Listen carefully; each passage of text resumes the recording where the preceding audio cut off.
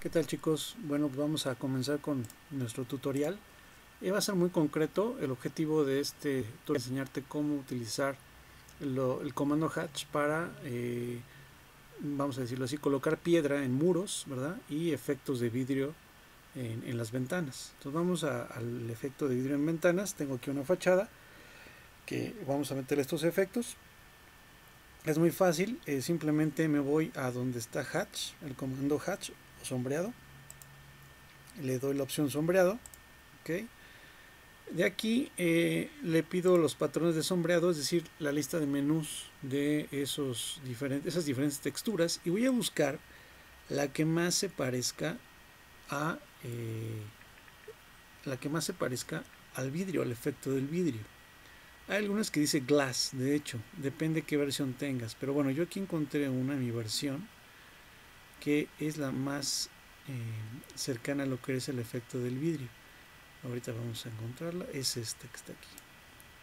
Se llama GIS STN1E. Entonces la selecciono y luego me voy a ubicar ese hatch donde lo quiero marcar. Sería por ejemplo aquí.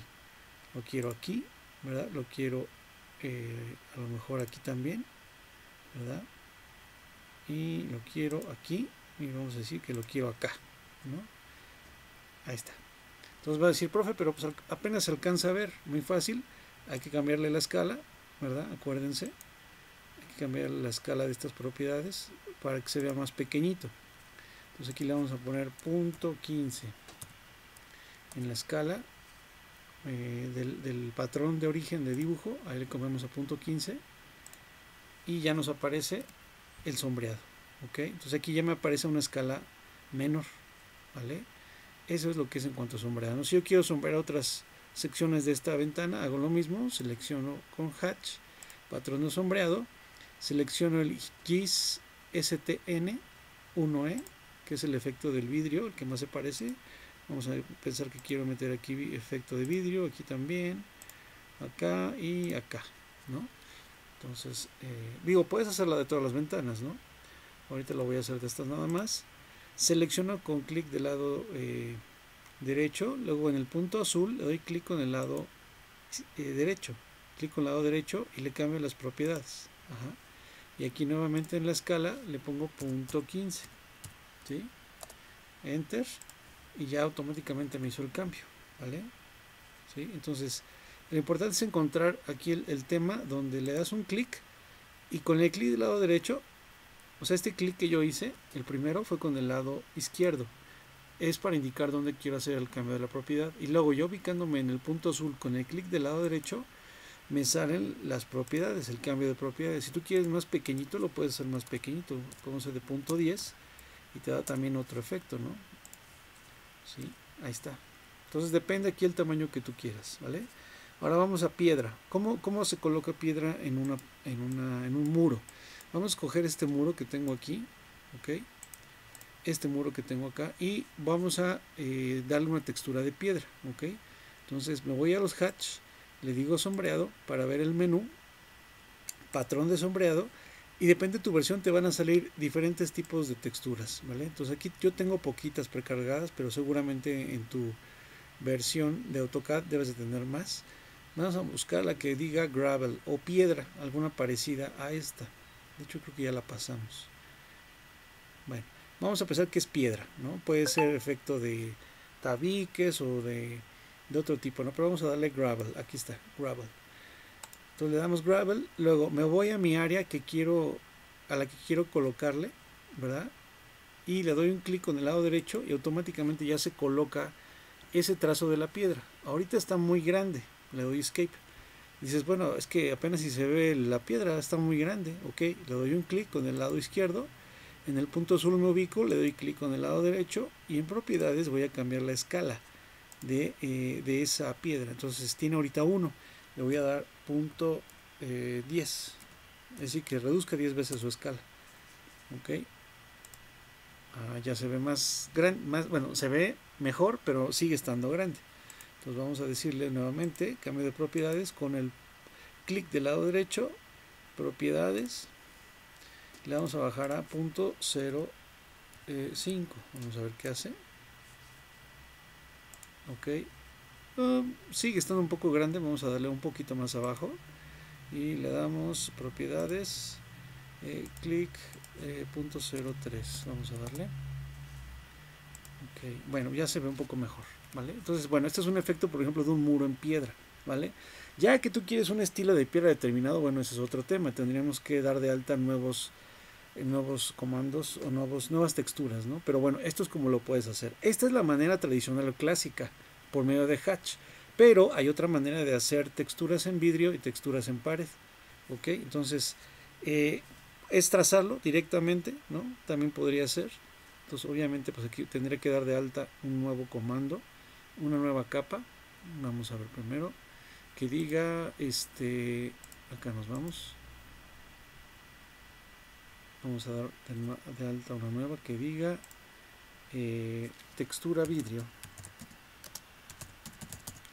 Y la voy a dejar en color la voy a dejar en verde ok y de una vez textura vídeo en verde ok y este y voy a dejar también una nueva que diga textura piedra. Textura piedra. Y la voy a dejar en color. Eh, cafecito. Un poco café. Bueno mm, va a estar por aquí. Ahí está. Le doy a aceptar. Eh, y hasta textura piedra, textura vidrio, punto 05 que sería punto fin. Ok, muy bien. Entonces vamos a la piedra, textura piedra. Le decimos que la queremos como actual capa de trabajo. Aquí está textura piedra y vamos a trabajar piedra, por ejemplo. Si yo quisiera nada más tener piedra en esta parte, ¿verdad? En la mitad o, lo que se le llama los, los este, rodapiés ¿no? de piedra, bueno, podría trazar una línea auxiliar, nada más ahorita, de apoyo, es una línea auxiliar. Yo sé que de ahí eh, voy a marcar nada más cierta zona de piedra hasta la altura de las ventanas, ¿no? Es lo que estoy marcando ahorita. Nada más estoy dibujando unas líneas, repito, guías. Son, líneas guía, ¿vale? Ahí está. Damos enter. Esta línea guía que acabo de trazar solamente es para trazar la piedra. Entonces, ¿cómo le haría? Bueno, agarro una sección de línea que sería polilínea ¿verdad? Voy a desactivar el orto, ¿verdad? Y el de referencia, la referencia polar y el orto los desactivo para yo poderme mover libremente, ¿vale? Déjame desactivar este, eh, desactivado, ya está. Sí, para que no me vaya a agarrar ninguna línea. Uy, sí la está agarrando todavía. Déjame ver cuál es el rastreo polar. Está activado, desactivado y el orto activado, desactivado. Ya está. Ya está. Bien, vamos con polilínea entonces. Mm, a ver, vamos a ver si nos permite. ¿Qué otro es el que tengo que desactivar para que no me dé la referencia? Referencia objetos. Sí, exacto, era este. Entonces, referencia objetos, el orto y la referencia polar hay tiene que estar desactivada. Le doy polilínea y voy a empezar a hacer líneas. ¿Ok? Más o menos en el orden que yo crea, ¿verdad? Que debe de ir la piedra. Entonces, esto es una manera muy, eh, pues sí, práctica de poder hacer efectos de piedra, pero repito, lo estamos haciendo manualmente, ¿ok?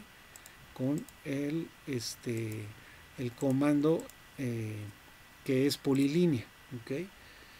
Obviamente, pues te vas a tardar un poco más de lo habitual, porque estamos trazando, pues de manera eh, directa, la piedra, ¿no? Digo, los efectos se ven muy, muy padres, pero bueno, vamos a agilizar un poco más el trazo. Aquí tengo otra piedra, voy a tener otra, aquí me salgo, regreso, me salgo, algo esto, ¿sí? Entonces aquí también lo puede hacer de esta forma. Vamos acá, luego aquí, eh, luego tenemos más piedra aquí, vamos para acá, cierro aquí, luego bajo más bien aquí arriba acá aquí ¿verdad? Y bueno vamos a terminar esta parte nada más para que se acabe de ver. Esto va a ser así. Esta va a ser luego acá. Y esta va a ser aquí. Ok digo es más tardado sí efectivamente. Pero también se logran efectos muy muy interesantes.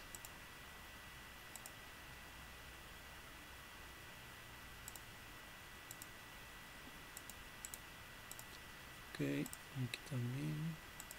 Obviamente pues aquí puedes tú controlar lo que es el, el tamaño ¿no? de, la, de, la, de la piedra, ¿no? básicamente. Bueno, vamos a pensar que esta es la parte de, piedra ¿no? que, que, yo quería tener. ¿no? Vamos a recortar entonces lo que ya no necesitamos. Con trim recortamos. Esto lo podría hacer pues, obviamente en toda la sección del rodapié que marqué. Pero ahorita lo voy a hacer para efectos de trabajo en esta zona nada más. Vamos aquí enter. Ah, estamos con trim, ¿verdad? Entonces recortamos aquí. Aquí se va este, se va este cachito, se va este, se va este, este. Aquí tendríamos que no nos deja aquí trimear, pero bueno. Es que si yo borro este se tendría que ir todo. Entonces vamos a, a darle aquí explode. A ver si nos permite. A ver. Composición. Sí. Vamos a ver. Ahí está. Ya. Lo que hice con Explode fue aislar cada una de las líneas para que yo pueda recortarlas. ¿no? Si yo borro ya una línea, nada más se borra una línea. Si yo hubiera borrado un pedacito de estas que tenía aquí, se va todo, todo el trazo, porque estaba con polilínea.